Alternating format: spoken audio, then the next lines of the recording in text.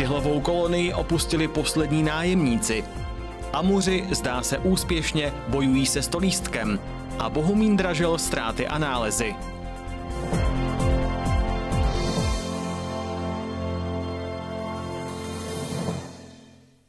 Autobusové lince Bohumín Ostrava skončilo státem dotované jízdné a sociálně terapeutické dílny pořádali vlastní jarmark. Také o tom v nových zprávách, plus povodňové stupně na místních řekách, ocenění nejlepších deváťáků i diamantová svatba.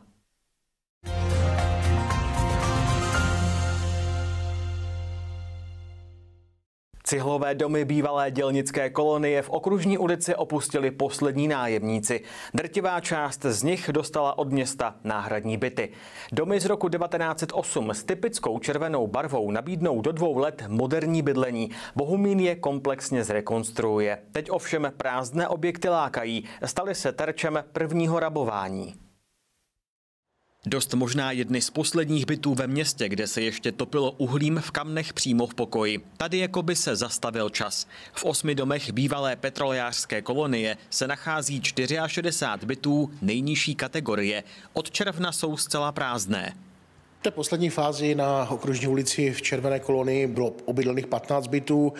Eh, té, těm, kteří eh, se chovali tak, jak měli a hradili si své eh, povinnosti, tak těm jsme samozřejmě hledali nějaké adekvátní bydlení, ale samozřejmě našli se i takový, s kterými jsme se museli rozejít, protože jsme nebyli spokojeni s tím, jak užívali to bydlení na okružní ulici.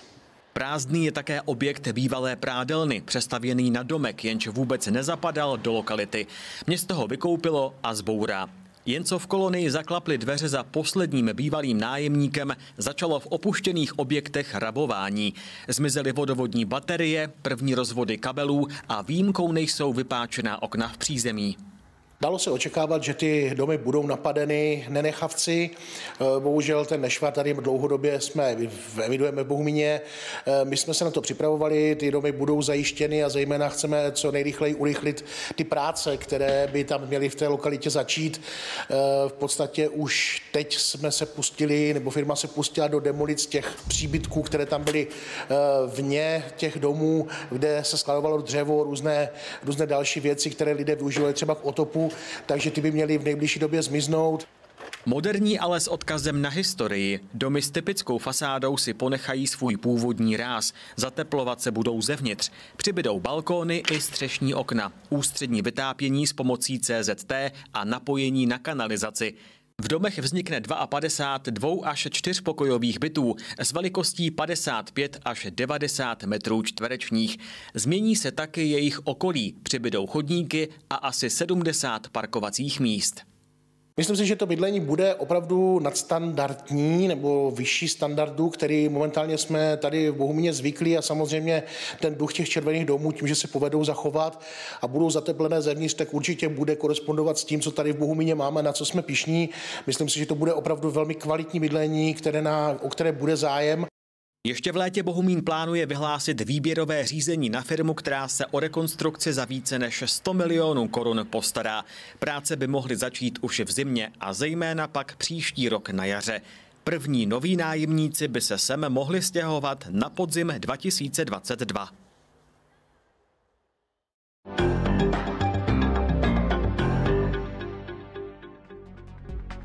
Téměř na měsíc přesně po deseti letech od velké povodně o sobě dali řeky znovu vědět. Vydatný déšť, který v regionu vydržel několik dnů, zvedl jejich hladiny. Například Odra v Bohumíně vystoupala skoro až k pěti metrům. K vyhlášení druhého stupně povodňové aktivity v tomto úseku chyběl pouhý jeden jediný centimetr. V neděli 21. června odpoledne se hladina zastavila na kótě 499 cm a na této úrovni se trvala přes dvě hodiny. Pak začala klesat. První stupeň na řece platil už od pátečního podvečera. V sobotu hladina dočasně klesla. V noci na neděli se opět dostala do povodňového pásma. Průtok v Odře se v období dešťů zvedl skoro 17násobně. Rozlitá řeka lákala fotografy a turisty. Jejich snímky doslova zaplavily sociální sítě. Zhruba na pět hodin se v neděli odpoledne dostala do povodňového stavu i řeka Olše na Bohumínsku. Hladina se taky vlivem dešťů v Beskydech zvedla až na 390 cm, tedy o 20 čísel nad limit pro vyhlášení prvního stupně povodňové aktivity. Řeka se podobně jako na Odře rozlévala do širšího koryta a zaplavila například obslužnou cestu podél toku, včetně místa u Brodu. Místní, včetně členů spolku kopetovských dobrovolných hasičů, vývoj sledovali sledovali. Tamní osada se totiž nachází poblíž soutoku Odrys Olší, který je nejnižším bodem Moravskosleského kraje. Průtok v řece se zvýšil v porovnání s údají před dešťovými srážkami 36krát. V neděli odpoledne korytem proteklo 217 metrů krychlových vody za sekundu. Interna Bohumínské městské nemocnice se vrací k normálnímu provozu. U dalších zdravotníků a pacientů se nákaza koronavirem, kvůli které bylo oddělení dočasně uzavřeno, neprokázala. Už od středy 17. června proto začaly znovu přijímat pacienty interní ambulance. Předtím proběhly dvě vlny testování pacientů i personálu interny, kteří mohli přijít do styku s nakaženými. Z kraje uplynulého týdne pak nemocnice realizovala třetí vlnu testování. Ta potvrdila potvrdila, že nákaza COVID-19 se dál nešíří. Lůžkové oddělení proto v týdnu plánovalo rozjezd a přijímání pacientů od posledního červnového víkendu. Aktuální informace zveřejnila nemocnice na webu a svých sociálních profilech.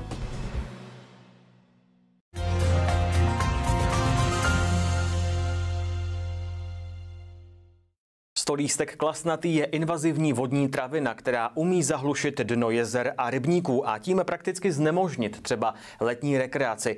To hrozilo oblíbenému Kališovu jezeru v Šunichlu. Do boje se stolístkem Bohumín a rybáři proto nasadili bíložravé amury. Efekt na sebe nenechal dlouho čekat. Stolístku značně ubylo, ukazují průzkumy.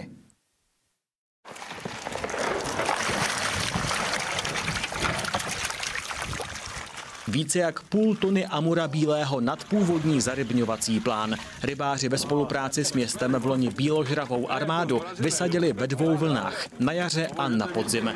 Celkový počet 2250 kusů. Vyvstal problém, že útlumem těžby začal kališok eh, pomalu zarůstat eh, zelenou hmotou. Informovali jsme se eh, u provozovatelů třeba Hlučínského jezera. Nakonec e, museli e, zvolit e, metodu kombajnu a odtěžovat průběžně tuto zelenou hmotu.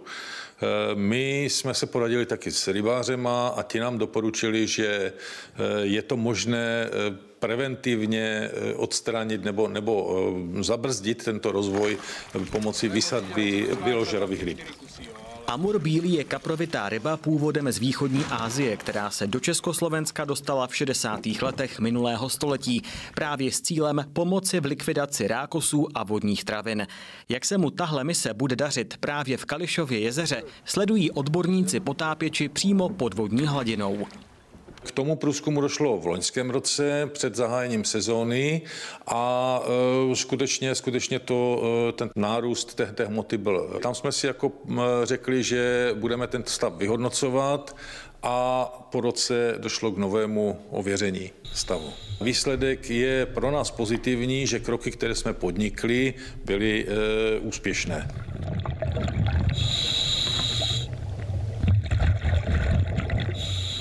Podvodní záběry potápěči natočili v hloubce 1,5 až 3 metry. Známky masivního výskytu neobjevili. Na větší trsy vodní traviny narazili jen ve třech případech. Viděli ovšem množství mladých výhonků. Ty by se měly či mohly stát právě potravou pro amury. Musíme to sledovat i, i nadále, poněvadž eh, je, eh, to dno není čisté, ale jsou tam zárodky a možnost dalšího rozvoje a růstu eh, těchto rostlin vodních. Další průzkum bude, uvidíme, uvidíme podle vývoje počasí, ale hm, buď na konci roku, anebo začátkem příští, příští sezóny. Bohumín v loni přispěl na posílení zarybnění Kališova jezera 50 tisíc. Opatření navazuje na kroky rybářů, kteří v roce 2018 takto investovali přes 100 tisíc korun ze svých zdrojů.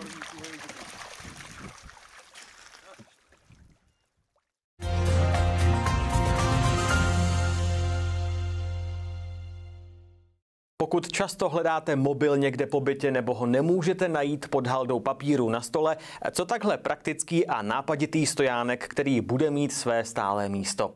Vyrábí je handicapovaní klienti sociálně terapeutických dílen Klíček v Bohumíně.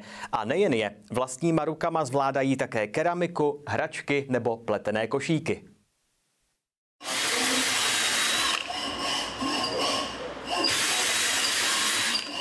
Nejčastěji smrkové dřevo voní dílnou, ve které nacházejí uplatnění lidé s mentálním či jiným handicapem. Pracují s pilkou i bruskami, montují, lakují. Také dílna dřeva představila své výrobky na vůbec prvním samostatném jarmarku dílen Klíček. Nejčastěji vyrábíme hračky, zahradní dekorace a momentální novinkou jsou vlastně stánky na mobily, jsou to dětské stránky na mobily, ale máme i pro dospělé. Je to takový set na brýle, mobil, náramky, hodinky a tak. Kde jste se inspirovali tou novinkou? Eh, s novinkou přišla naše sociální pracovnice, podle toho jsme udělali jeden výrobek a potom jsem si doma všiml, že naše dcera má takové nálepky do vany a podle toho jsme udělali další. Mini jarmark v Centru sociálních služeb tak trochu zastoupil prezentaci na velikonočním jarmarku města, který byl kvůli koronavirovým opatřením zrušen. Spolu s dřevařskou dílnou se tady prezentovala dílna keramická, košíkářská, tvůrčí a tkalcovská. Najdeme tady eh, koberce tkané, máme drhání, tady dětní klienti hodně, hodně si to oblíbili i kluci, nejenom holky, fakt jako jsou šikovní na tady tuhle práci. Teďka máme novinku vlastně, ty košičky šité. Tady ty jsou třeba, pomáhají klienti tím, že obalují špagat pradelní látkou a pak se to sešívá, tak to takhle vznikne takový košík z toho. Takže poměrně náročná práce. Uh, no, na motoriku určitě. Sociálně terapeutické dílny jsou sociální službou, která je zaměřena na osoby s mentálním postižením nebo s nějakým handicapem, kteří, eh, které nejsou umístěné na eh, trhu práce, jak chráněném, tak otevřeném. My máme zručné klienty, ale je pravda, že jim pracovníci musí dopomáhat. Nové nápady a taky oprášení zapomenutých technik. Naše babičky si možná ještě vzpomenou na voskované ubrousky. Místní dílny je vrátily do hry, včetně autorského názvu a loga. Na místo igelitového tenhle ekologický, omyvatelný a ze stoprocentní bavlny. Je voskovaný pravým včelým voskem, pochází z českého vosku a vymysleli jsme k tomu i název. Myslíme si, že je to takové chytlavé, je to obal si to. Uplatníte ho určitě v domácnosti, kdy do něho vlastně můžete zabalit svačinu pro děti. Máme i sáčky, máme první vzoreček sáčku. Určitě svačinu, neokora, déle vydrží, dá se to použít na misky, stačí to jenom prostě dát na misku, chviličku držet rukou, on změkne a vytvaruje se na tvar misky. Jarmark byl dvoudenní a kdo ho nestihl, nemusí zoufat. Dílny, zejména v době školního roku, tvoří dál. Domluvit se lze taky individuálně.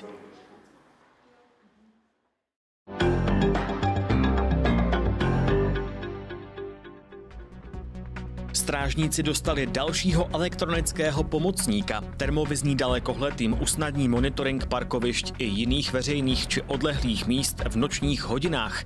Třeba při hledání dezorientovaných osob, kdy lidé nejsou schopni přesně popsat svou polohu.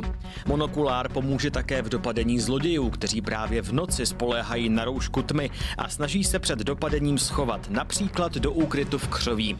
Termokamera s vysokou citlivostí detekuje člověka do vzdálenosti 440 metrů, auto až do 1,5 kilometru. Obstojí i v drsných podmínkách prostředí, jako je mlha, kouř, prach, déšť, sníh či lesní porost. Městská policie aparát za 40 tisíc korun zakoupila s pomocí dotace prevence kriminality. Průměrná cena za metr čtvereční se u licitací bytů v květnu dostala pod hranici jednoho sta korun. V máji Bohumínská radnice uspořádala 18 veřejných licitací městských bytů. 16 z nich hned na poprvé našlo nájemníka. V šesti případech se jednalo o zájemce, kteří přicházejí z jiných měst. V nabídce je stále několik desítek volných bytů. Licituje se každý týden. Novým rekordem je částka 171 korun za metr čtvereční. To je skoro trojnásobek vyvolávací ceny, která je 60 korun za metr. Zájemce ji nabídl za garzonku s rozlohou 28 metrů čtverečních. Skoro 300 tisíc korun investoval Bohumín do dezinfekce a ochranných osobních prostředků. Vyplývá to z údajů, které završily činnost krizového štábu města v hlavní době koronavirových opatření. Například 815 litrů dezinfekce anti-covid stálo skoro 70 tisíc korun. Dezinfekce jako mídla a gely plus čistící prostředky, zásobníky na dezinfekci a rukavice to byl náklad za dalších 160 tisíc. Dezinfekcí prošly také autobusové čekárny. Zajistit zásobování například sociálních služeb a nemocnice pak pomohl Moravskosleský kraj. Pro Bohumín, Rychvald a Dolní Lutyni zajistil více jak 22 tisíce roušek jednorázových, 25 tisíc ochranných rukavic, 120 ochranných obleků a materiál pro ušití 4 tisíc textilních roušek.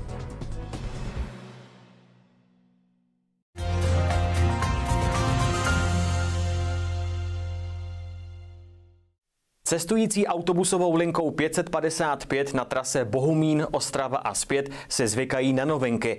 Už minule jsme říkali, že díky přestupní jízdence mohou v limitu do 45 minut využít v rámci jedné úhrady taky ostravskou MHD. Ovšem zařazení linky do zóny Ostrava XXL naštvalo třeba seniory, kteří tím přišli ovládou dotovanou slevu. Podobně jako děti a studenti. Senior starší 65 let jezdil díky dotaci státu, často nesprávně označované jako sleva, na lince 555 do Ostravy a zpět za 7 korun. Šlo tedy o čtvrtinu plné ceny. Od 14. června zaplatí korun 24. Linku kraj začlenil do zóny Ostrava XXL. Dle stávající legislativy má dopravce, respektive objednatel dopravy, možnost výjmout ze systému vládních slev určité linky, spoje nebo jejich části. Veškeré linky příměstské autobusové dopravy na území města Ostravy byly ze systému vládních slev vyjmuty již k datu zavedení vládních slev, tedy k 1. září 2018. Výjimkou byla právě linka číslo 555, která nebyla tarifně integrována s ostatními linkami a platil na ní odlišný tarif. Od 14. června je linka součástí zóny Ostrava XXL, kde vládní slevy neplatí a tudíž přijala její pravidla. Krajský kodis se odvolává na jednotnou tarifní politiku. Jiná je situace na linkách MHD vedených za hranicemi města. To znamená, že při jízdě jen po Bohumíně touto linkou cestující nárok na vládní slevu má. Obdobně je to třeba na lince 23, která jezdí na trase Záblatí Ostrava. Občané starší 65 let, u kterých předpokládáme, že necestují pravidelně, si mohou na svou Odiskartu zakoupit pro město Ostrava roční předplatní jízdenku v ceně 0 korun. Při cestách z Bohumína do Ostravy se jim tato zóna uzná a z kreditu na Odisce se jim strhne pouze částka 6 korun za úsek po Bohumíně, kde mají nárok na vládní slevu. Totež platí i pro cestu obráceným směrem. Cestující se zakoupenou bezplatnou zónou číslo 77 pak mohou bez omezení cestovat i všemi linkami MHD po Ostravě. Výjimkou jsou vlaky českých drah, kde tato bezplatná přeprava prozatím neplatí. U dětí do 15 a studentů do 26 let krajský kodis pro pravidelné cestování doporučuje zakoupit předplatní jízdenku pro zónu 78, ideálně s roční platností v ceně 1676 korun za rok nebo 823 koruny za pět měsíců, tedy semestr. Tato cena představuje slevu oproti nezlevněné roční či půlroční jízdence přibližně 1,70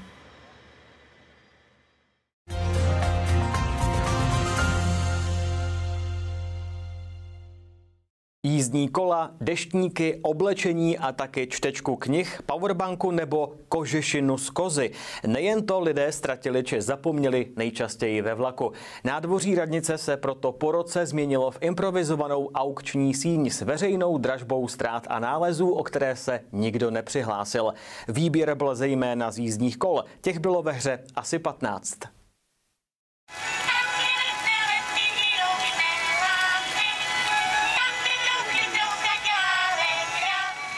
Včelímu Medvídkovi, který se před časem ocitl ve skladu ztrát a nálezů, bylo do zpěvu. Stejně jako těm, kteří si díky dražbě odnášeli domů zánovní věci mnohdy za pár korun. Přihazuje se minimálně o 10 korun. Vyhrává ten, kdo podá nejvyšší nabídku. Vyvolávací cena je 50 korun na hodiny. Hrajou. Hrajou.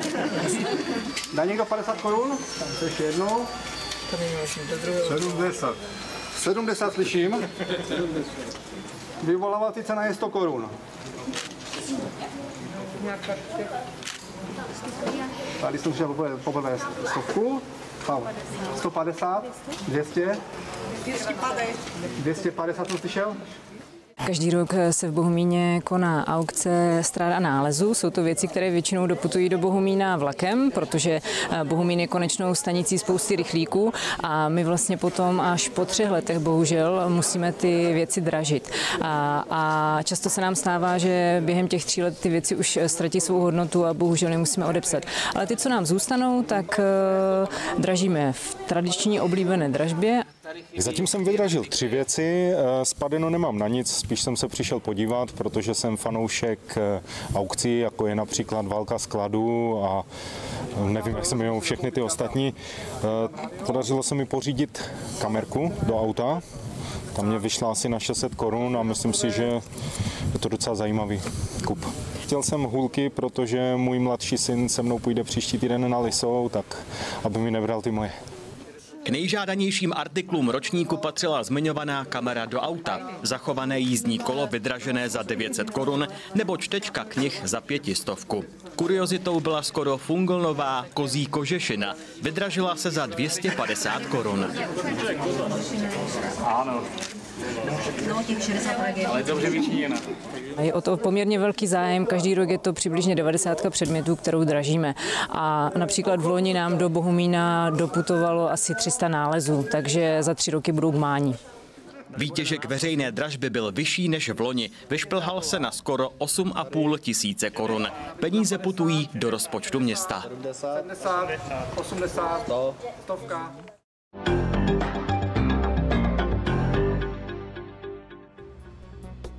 Bohumín ocenil nejlepší žáky devátých tříd a odpovídajících ročníků víceletého gymnázia, plavenku do akvacentra, volňásky do kina a poukázku na nákup sportovního zboží si převzalo 16 školáků. Jejich ocenění navrhli ředitelé škol za mimořádné studijní výsledky a mimoškolní aktivity.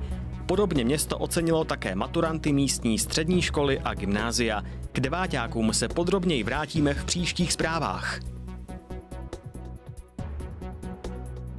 Zoufalý nedostatek pracovníků na úklid zmírní několik nováčků. Bohumínu se povedlo dojednat se státem posily do řad veřejně prospěšných pracovníků. Úřad práce od 1. července zaměstná dalších 15 lidí. Zapojí se nejen do úklidu veřejných ploch a čištění chodníků. Navýšení počtu přichází skoro v hodině 12. Části původní čety totiž končily smlouvy. Kdyby pracovníků nepřibylo, musel by rozpočet města uvolnit na úklid další stovky tisíc korun. Celkově bude mít Bohumín od července prostřednictvím BM servisu k dispozici 39 veřejně prospěšných pracovníků.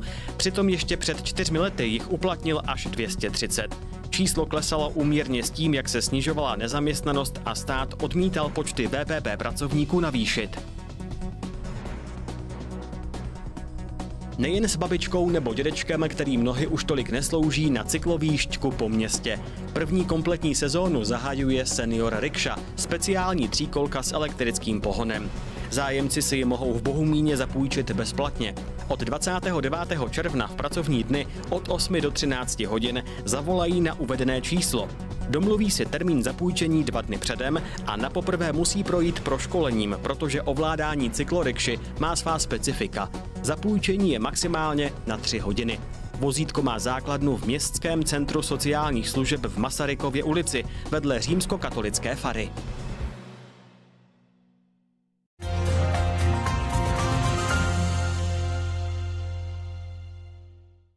1960, rok, kdy byla v Československu poprvé namíchána kofola. Na mezinárodním veletrhu v Brně měl premiéru prototyp světově proslulé tramvaje Tatra T3 a Karel Gott odešel z ČKD, aby se profesionálně začal věnovat zpěvu. A také rok, kdy si řekli ano Jan a Irena Fredovi z Bohumína. V červnu oslavili diamantovou svatbu.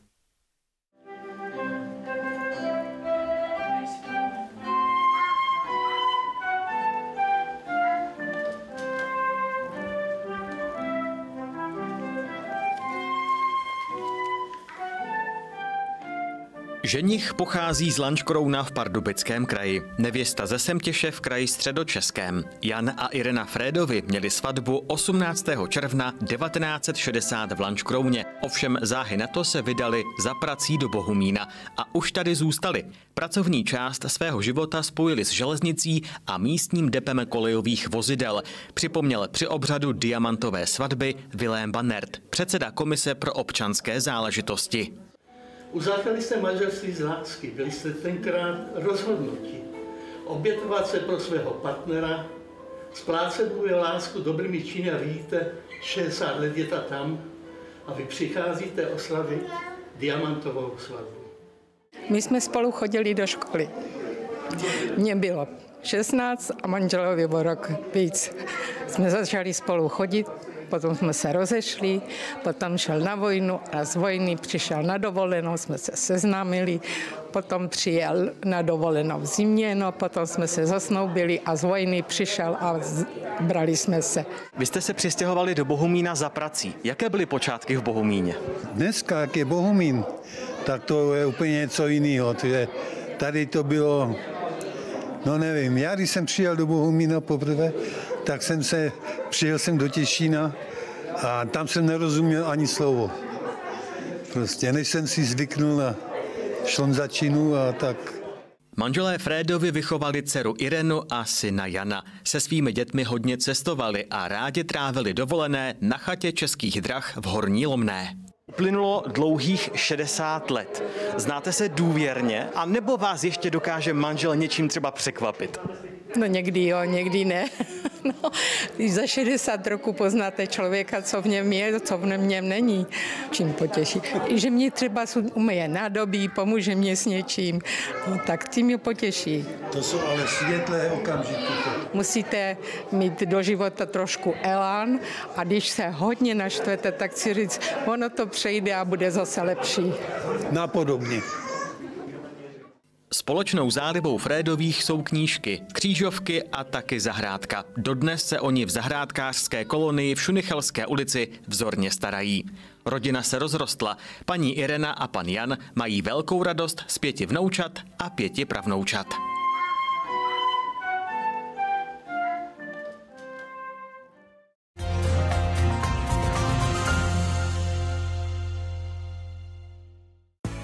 Bohumíně startuje sezóna letního kina. K prvním filmům letošních prázdnin patří nová česká komedie Bourák s Ivanem Trojanem v hlavní roli. Například v sobotu 27. června od půl desáté večer.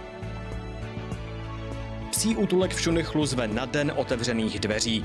Mimo jiné ukázky práce kinologa, vegan stánek a možnost vzít některého z útuláčků na krátkou procházku. V areálu psího útulku v ulici Větrná, oblast bývalých kasáren, tuto neděli 28. června od 10 do 16 hodin. Knížky pro děti i dospělé, komiksy, časopisy, plakáty, všechno za pár korun. Knihovna pořádá oblíbený antikvariát na náměstí před radnicí ve středu 1. července od 9 do 18 hodin, včetně doprovodného programu pro děti. Žije v Bohumíně, zpívá v češtině i angličtině, její záběr se pohybuje na pomezí indie a alternativního popu. Na koncert Veroniky June se vydejte do kina K3. Ve čtvrtek 2. července začíná v 19 hodin. Prázdninové neděle v kamenném kině to je ke vstupence jedna zdarma. Cyklus promítání pro děti startuje v neděli 5. července v 10 hodin legendární komedií Tři veteráni. Ode mě je to pro dnešek všechno. Příští týden vás s zprávami z Bohumína provede Monika. Na viděnou.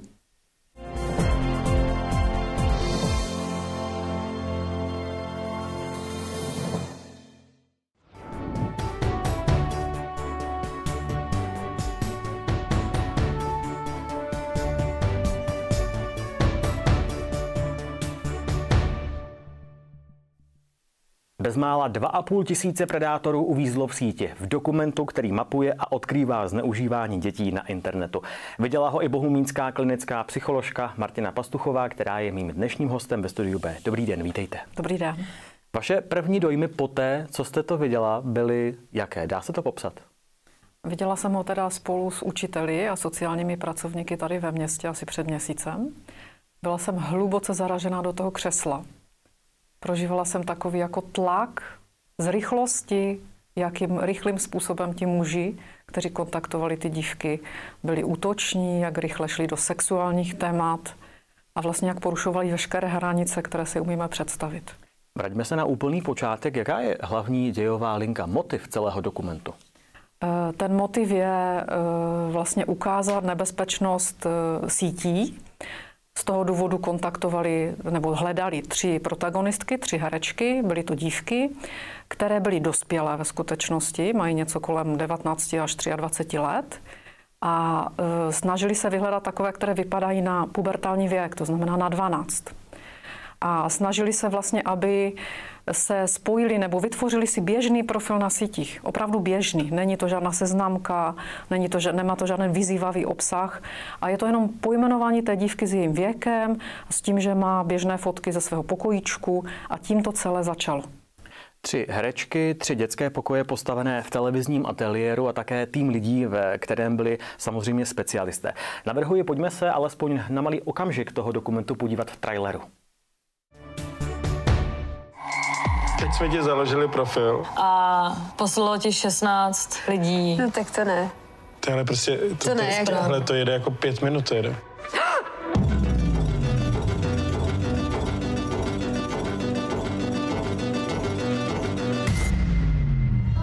Budu strašně rád, když tě někdy uvidím osobně. A na tebe milý a hodný, neboj, Miško. Pozor, Pojďme na to, Camry Row. Je 12. No jo, tak to je pohoda. A to by nevadí, že je mi 12? A proč by to mělo vadit? A víš, že je mi 12, nevadí ti to? Ne, a ukážeš se mi taky? Slyšíme se.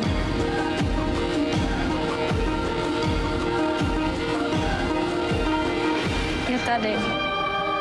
A co mamka? I o tom? Tolik tedy ukázka z dokumentu v síti. Bohumín dokument podpořil kampaní v kině, dotoval školákům promítání a také učitelům zajistil exkluzivní předpremiéru. Učitelé, co si vybavuju, reagovali slovy, tak to je silné kafe. Dáváte jim za pravdu? Dávám za pravdu, zažila jsem to hluboké ticho po ukončení toho dokumentu. Žáden smích, žádné moc velké řeči, ti lidi odcházeli hodně ponořeni do toho tématu. A vlastně pro mě pak nasledoval zhruba týden hodně častých telefonů, dotazů od známých učitelů, od třeba lidí, kteří v tom školství jsou, byli na filmu, protože ti lidi byli, měli opravdu stresové reakce. Museli o tom filmu neustále mluvit, špatně se jim spalo, takže byli opravdu jako zaplaveni tím šokem z toho dokumentu. Herečky byly plnoleté, ale vydávaly se za nezletilé a za pouhých 10 dnů natáčení se jim ozvalo 2458 mužů. Dnes se jim tedy říká predátoři. Eh, o jaké muže šlo? Úplně oběžné muže z naší populace, to znamená věkově třeba mezi 20 a 70. Eh, vůbec tam nebyl rozdíl ve vzdělání nebo v práci, takže to byli lidi z celého průřezu, od vysokoškoláku po dělníky, podnikatelé, studenti, kdokoliv. Ten dokument jenom v Bohumíně vidělo zhruba 900 žáků ze sedmých až devátých tříd a také po dokumentu mohli besedovat s vámi a také s autory celého dokumentu. Jaké byly jejich první reakce nebo také nejčastější dotazy? Eh, ty dotazy byly často třeba ze strany chlapců na technické zázemí kolem toho filmu, na ten dokument, jak vůbec vznikl, kdo byl zadavatelem toho filmu. Hodně je zajímalo bezpečí těch hereček, těch dívek. Dotazovali se taky na reakce štábu, to znamená té produkce a filmařů, kteří pak ten film zpracovávali, na to, jak vůbec emočně zvládli celou tu situaci se na to opakovaně dívat. Byly rozdíly v reakcích chlapci a děvčata? Byla spíš eh, rozdílný, jakoby, eh, rozdílný styl reagování, že nejdříve reagovali chlapci, a teprve postupně se k tomu připojovali dívky. Nevím, jestli to tak je i v jiných městech nebo v jiných produkcích. A já si to sama za sebe jako psycholožka trošku vysvětluju tím, že dívky, tím, že sledují dívky, kterým se to děje v dokumentu, tak jsou tím emočně více zasažen. Jak takový predátor s nezletilým dítětem, které sedí doma u počítače, u internetu, komunikuje? Jaké nejčastější fígle, které třeba jsou v tom dokumentu vidět, oni používají?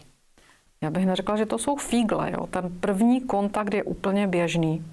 Opravdu se jich zeptají, jak se máš, co máš ráda, ukaž mi svůj pokojíček, co děláš ráda, chci si jenom tak pokecat. To jsou takové základní otázky, ale ta rychlost návrhů nebo nabídek sexuálních je tak e, překvapující, že vlastně třeba jsou schopni opravdu jít do nahoty, ukážou svůj penis a jsou schopni před těma dívkama masturbovat.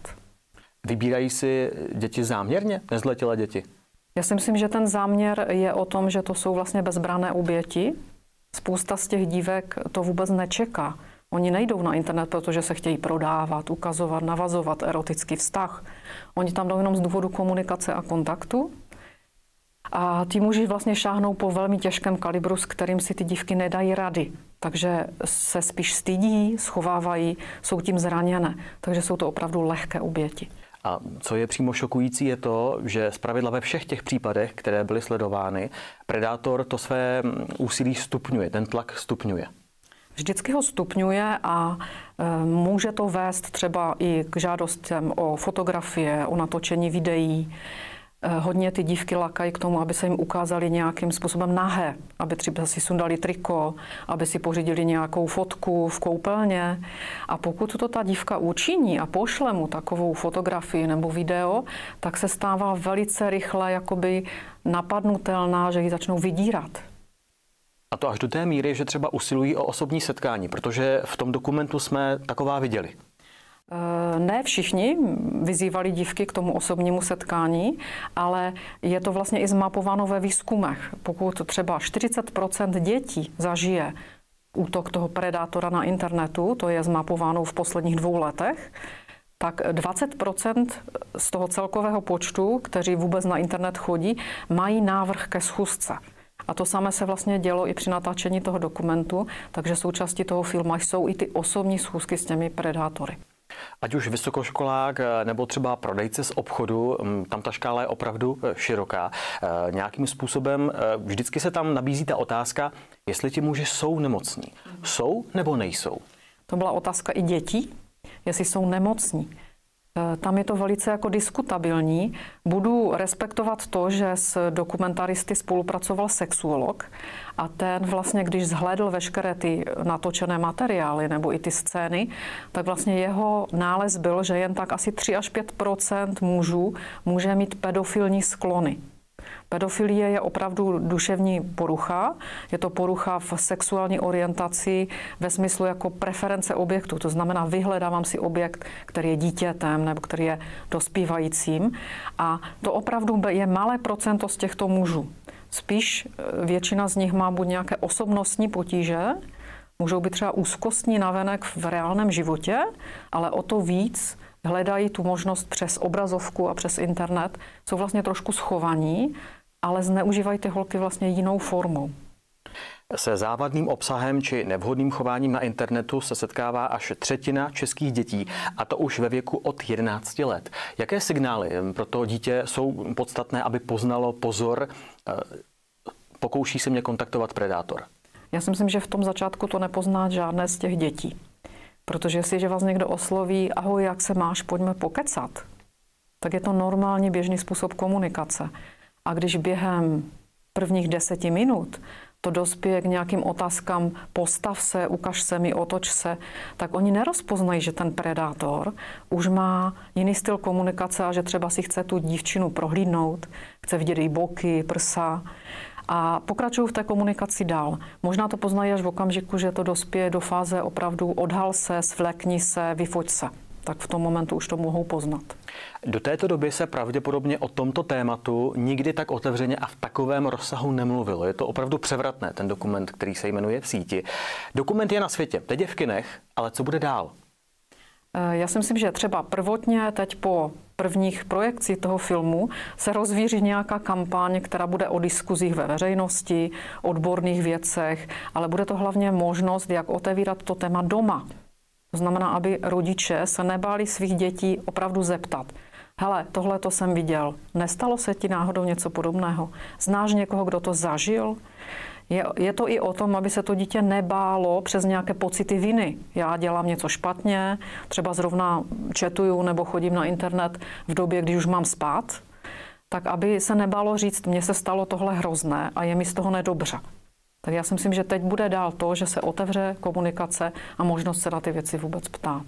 Někteří rodiče to tak možná udělají, že udeří na své dítě a budou na něj tlačit, aby se o tom diskutovalo, aby se o tom mluvilo.